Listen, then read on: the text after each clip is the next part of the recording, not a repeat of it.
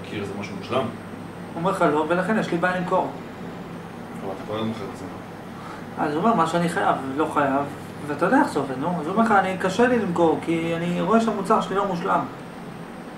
אבל מי שיקנה לך את המוצר הזה, הלא מושלם... לא קרה משהו לך. פעם שייצרת מוצר, ולא רצית למכור אותו כי הוא לא מושלם?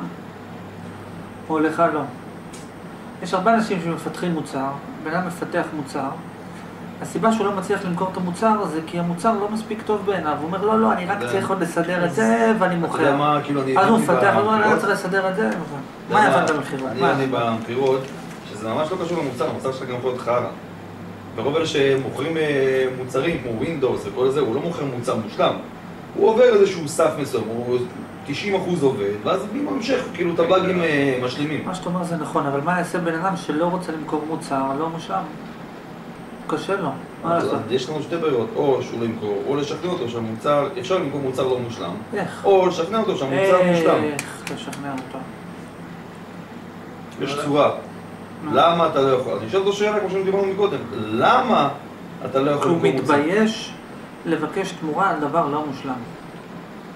אז מושלם. אז הבעיה היא, זה לא שיש לך בעיה למכור מוצר לא מושלם, הבעיה שלך זה שאתה מתבייש. נכון. זה אותו אוקיי. דבר. מה בסדר. שמתבייש, יש לי בעיה. ולמה אתה מתבייש? מרגיש עם זה רע, פדיחה. למכור מוצר מושלם זה פדיחה. מרגיש לי עם המחויבות אישית שהמוצר יהיה מושלם. ולמה אתה מרגיש עם התשובה. מחויבות? בן אדם, אה, יש לי שאיפות גבוהות, וזה מה שאני, זה הסטנדרטים שלי. לא מחויב. מה עושים? לא בתחום הנכון. אוקיי, אתה אומר לו, תעזוב את המקצוע. בסדר, הבנו, אוקיי, הבנו, הבנו. אה, מה אתה אומר? שיוריד את המחיר אולי של המוצר, ואז כזה יותר ישקף לו את ה... אתה אומר לו, כמה אתה חושב שהמוצר הזה שווה? אז תיקח פחות כסף. תסביר שהמוצר הזה לא לך, מושלם. "ש- ואז הוא אומר לך, נכון, אני מבין מה אתה אומר. קודם כל זה עדיין בעיה. אני מבין שזה בעיה, כי איך אפשר להרוויח פה? אבל דבר נוסף, כי באמת, כי בעצם לא פתרנו את הבעיה, אמרנו לו נכון, המוצר לא, פחות, תיקח תיקח כאילו פחות את כסף. המינימלי שהוא יכול מה לעשות. יציע? כמה אתה חושב שהמוצר הזה שווה? שלושה שקלים, תמכור אותו בשלושה שקלים. אבל עדיין יש, יש פה כמה בעיות. בעיה ראשונה, יכול להיות שהוא יפסיד כסף, יכול להיות שהוא חושב שהמוצר בכלל לא שווה אולי לייצר אותו. כי הוא בתת מודע חושב שכן שווה לייצר אותו. אתה יודע, הוא גם רוצה כסף, הוא גם רוצה להרוויח, הוא גם לא באמת... אה, טוב. ודבר נוסף, גם כן יכול להיות בן אדם שיגיד, לא, אני לא מסוגל, אפילו אם משלמים לי על זה שקל, אני מרגיש שאני דופק את הבן אדם. למה? כי אז המכירה היא כבר מחויבת ולא אפשרית. כאלה. מה? אני לי שיש הרבה אנשים מכירות כאלה שיגידו, אני דופק את הבן אדם אז לא רוצה אני. מספר לך מה הבן אדם אמר לי. יש ברור? זה סיפור, כן, מאיפה אתה חושב שהרעיון הגיע? זה מישהו ששאל את השאלה. זה לא שהתקשר לך בלילה? לא. אפילו שקל לבן אדם, אם מבקשים אפילו שקל, נגיד הוא עשה איזה משהו שהיה טוב. עשה משהו שהיה טוב, אבל הוא עשה את זה בחינם. ואז מישהו אמר? כן, עשה איזה שירות מסוים, שהשירות הזה היה טוב. ואז מישהו ביקש ממנו את אותו שירות, והוא אמר לו, אני רוצה לשלם לך על זה. הוא אמר לו, לא, אני לא עושה את זה. אמרתי לו, ואם זה היה בחינם? אצלך זה מצלצל? אמר לו, ואם זה, שאלתי אותו, ואם זה היה בחינם הוא היה עושה, אבל בגלל שזה בתשלום הוא לא רוצה, אפילו תשלום סמלי הוא לא רוצה. למה? כי הוא מרגיש שזה לא מספיק טוב. הוא אומר לו, אם משלמים לי, אני כבר כאילו מפחד מפדיחה. וזה לא מספיק טוב המוצר. אז איך אפשר לשכנע אותו כן למכור את זה? כן, השאלה היא איך אפשר לגרום לו אפילו להרוויח כסף. שזה אומר שהוא, לשאול אותו, טוב, אז מה הבעיה? כמה המוצר שלך עולה? יפה, תמכור אותו בכפול. אתה הבאת, הוא הביא את הפתרון, הוא הלך לפתרון, פתרון הכי קיצוני, הוא אמר, אז שיעזוב את המקצוע, שלא ימכור. אתה אומר, אין בעיה, שימכור בפחות. ואני אומר, לא, אולי נלך לפתרון, אתה חושב שהמוצר שלך לא מספיק טוב, יפה, תעלה את המחיר שלו. איך אפשר לעשות הפוך בכלל? תגידו שהוא עושה עבודה רוחנית, שהוא מוכר דברים לא טובים. איך, מה הקשר?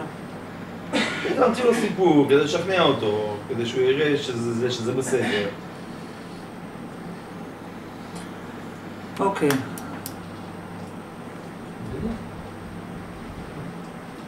כמו שאמרת, הוא מחפש, כאילו, זה, זה הצורה, למכור מוצר מושלם. אפילו שמעו את מה ששאלת.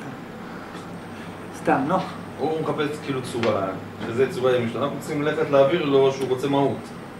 ולמצוא את הפתרון שהוא לא צריך כאילו למוסס את הצורה, שיקבל את המהות. איזה צורה? הצורה למכור מוצר מושלם. מה, אתה לא רוצה, אתה לא רוצה למכור מוצר מושלם? אה? אתה, מי לא רוצה למכור מוצר מושלם? מה קשור פה מאוד וצורה בכלל? קודם דיברנו, יש לו צורה מסוים, רעיון מסוים. במקום מוצר מושלם. איך אתה מוציא שהוא ירגיש שלם איתו? יש אנשים- יש אנשים שלא מצליחים בחיים, לפעמים בגלל שהם פרפקציוניסטים. אם זה מחלה, חבל על הזמן. הם כל דבר רוצים מושלם, אז הם לא מוצאים אותו, אז הם לא עושים כלום, לדוגמה. יש הרבה אה, דברים כאלה. אז מה קורה אם הפרפקציוניזם הזה נכנס לתוך, לתוך מכירות? מה אתה אומר? Hmm? הנושא היה בן אדם, שלום. אוקיי, הנושא היה בן אדם שקשה לו למכור מוצר כי המוצר שלו לא מושלם בעיניו. והוא לא רוצה למכור מוצר לא מושלם, מה לעשות? אז לראות שזה- לדוגמה, יכול להיות בחור, נגיד, שהוא לא יתחיל עם מישהי, כי הוא אומר, אני לא מספיק טוב. וואלה, איך חשבת על זה. אני ישר לקחתי את זה לשם.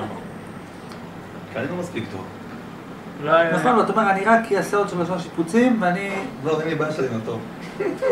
לא, לא משנה, לא, אוקיי. אבל? יש כאלה שיש לו ב- בעיה, הוא אומר, אני רק אעשה, אני רק לא אסיים את זה? אני אתחיל עם הבחורה, אני רק אעשה את זה, אתחיל עם הבחורה. נגיד לו שאולי למרות שהמוצר לא מושלם, עדיין זה מספק את הלקוח, מה זה משנה אם זה מושלם או לא, אם זה מספק את הלקוח. קודם כל מה שאתה אומר זה נכון. הנה, הוא דיבר על נושא של מהות וצורה, הוא אומר, תסתכל על המהות, מה המהות? המהות זה למלא את הרצון שלו. ואתה ממלא את הרצון שלו, עשית לו טוב, מה אכפת לך אם זה מושלם או לא, אבל מה מהות המכירה? למלא את הרצון של הלקוח. מה המהות? לתת לו את המוצר? לא, מצד הלקוח. מה הלקוח רוצה? מוצר מושלם, או הלקוח רוצה למלא את הרצון? רוצה למלא את הרצון. מילאת לו את הרצון, כן. עשית לו טוב, כן. הטוב הזה שווה כסף, כן. יפה, קח את הכסף.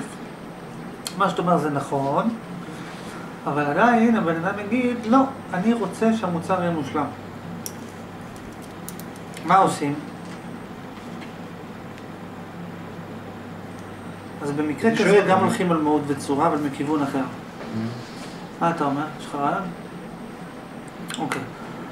הולכים על מהות וצורה בכיוון אחר. הולכים, למה חשוב לך שהמוצר יהיה מושלם? עכשיו, מי שלומד פה אמור לדעת את התשובה. למה רק אמור לדעת את התשובה? כי לא תמיד אתה יודע את התשובה, למרות שאתה לומד פה, כן? אבל בכל מקרה, התשובה היא פשוטה. בן אדם אומר, קשה לי למכור מוצר מושלם, זה בן אדם שיש לו הרבה בעיות עם עצמו בכלל. בעיות של דימוי עצמי, בעיות של חוסר ביטחון עצמי, בעיות של ערך עצמי, מלא בעיות יש לו. איך אני יודע? כי מה השכל שעומד מאחורי אני לא רוצה למכור מוצר שהוא לא מושלם? קושי להתמודד עם חסרונות. הוא אומר, אני וחיסרון לא הולך ביחד. עכשיו, אין לי... עד הסוף, תקשיב. אבל להגיד, אני, עכשיו, כל בן אדם יש לו חסרונות, אבל הוא אומר, הוא לא מוכן, הוא לא מוכן שהם ייצגו אותו. הוא אומר, כי למכור מוצר ללקוח, זה בעצם להגיד לו, אני זה המוצר, וכשהוא מוכר את המוצר, הוא כאילו מוכר את עצמו, ואז אם הוא רואה את החיסרון במוצר, הוא כאילו אומר, אני מוכר את החיסרון של עצמי. וזה כאילו, בן אדם אומר, מה, אני אמכור את החיסרון של עצמי? עכשיו, מה אני אומר?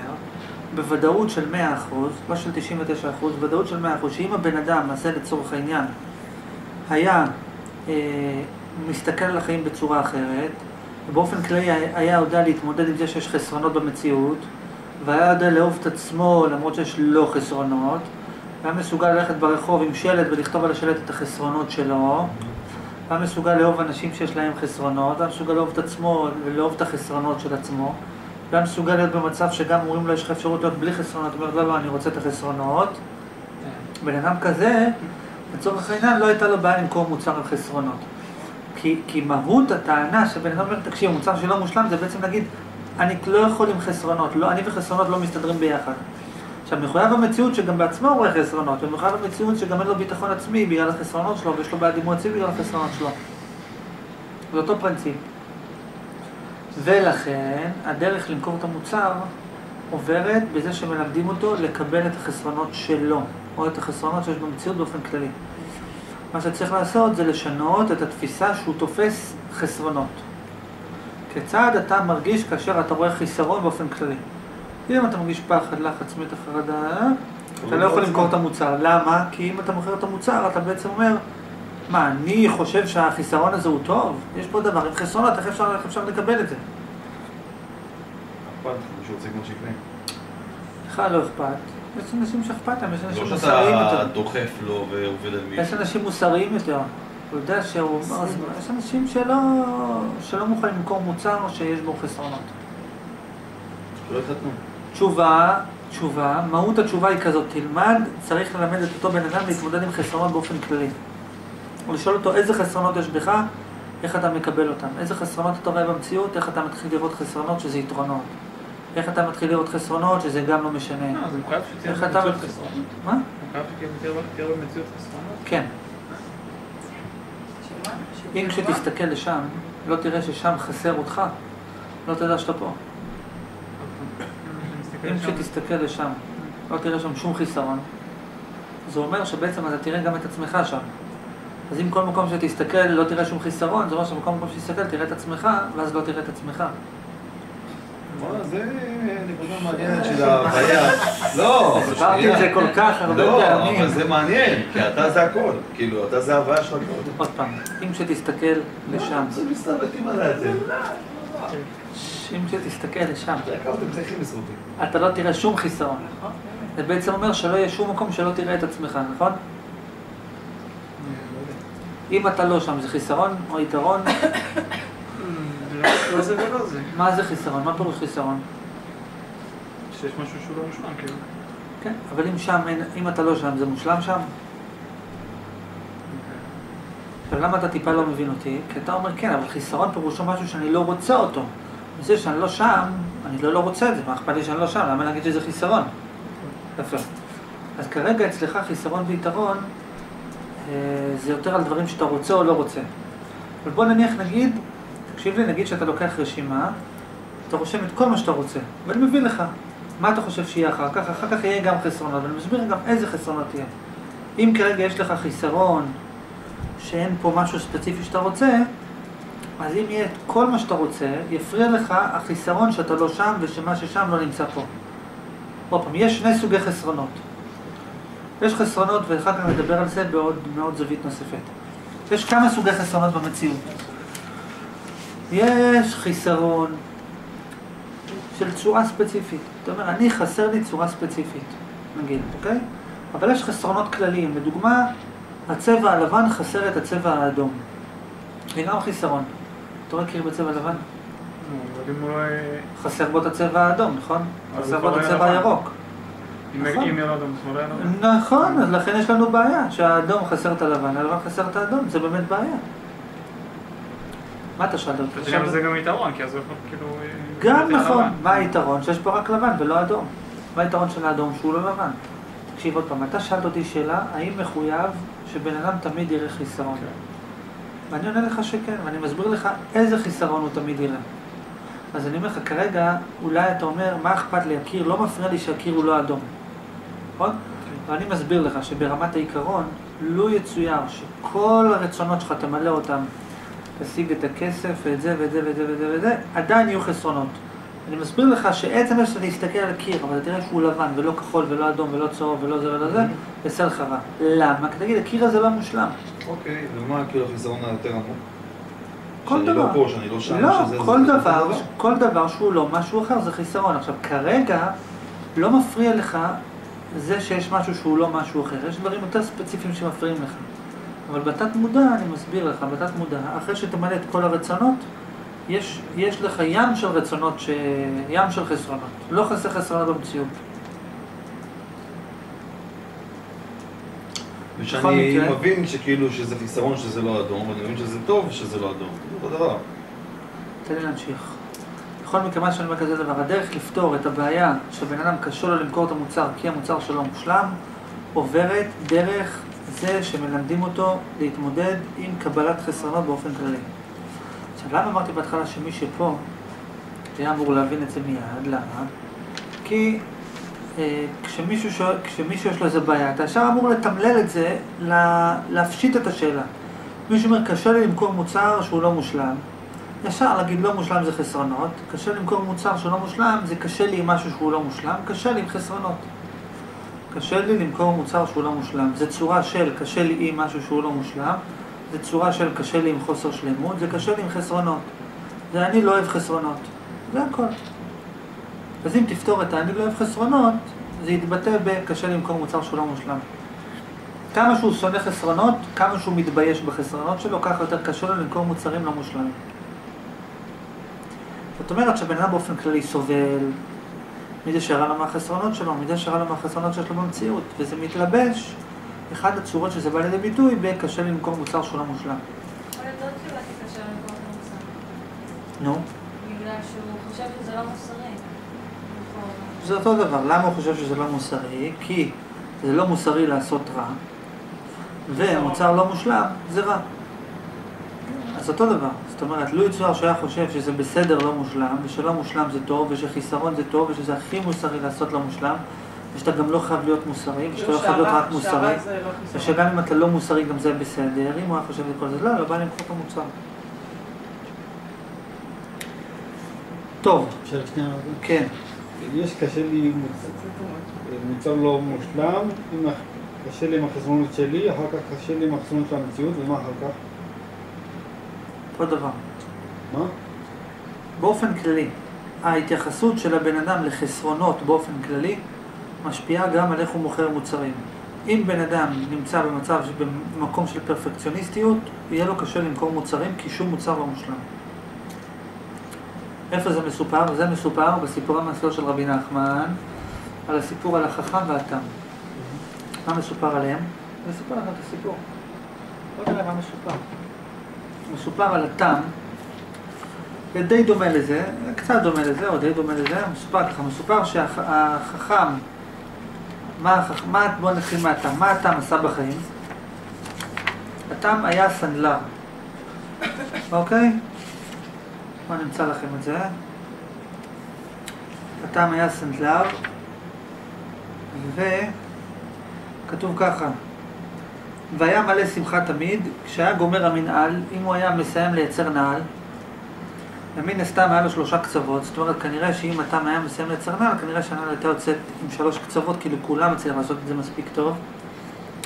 כי לא היה יכול לאומנות בשלמות, הוא לא יודע באמת לעשות את ה... הוא לא באמת יודע להיות סנדלר מקצועי. אז מה הוא היה עושה הטעם הזה? הוא היה לוקח את הנעל בידו, היה משבח אותו והיה מתענג ממנו, מאוד ממנו, והיה אומר, אשתי, כמה יפה ונפלא הנעל הזאת, כמה מתוקה הנעל הזאת, כמה נעל של דבש וסוכר הנעל הזאת. זה הוא היה אומר על הנעל שהייתה יוצאת לו על הפנים. ואתה שואלת אותו, אז אשתו שואלת אותו, אם כן, למה שאר הסנדלרים לוקחים שלושה זהובים בעד זוג מנהלים? באמת, אם זה נעל כל כך טובה, אז למה אחרים מוכרים את זה בכפול, את הנעל שלהם מוכרים בכפול ממך?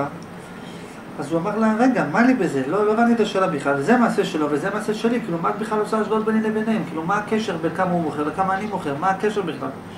ועוד, למה לנו לדבר מאחרים? למה אנחנו מדברים בכלל על מישהו אחר? הלא, בוא נתחיל לחשוב כמה אני מרוויח במנהל הזה.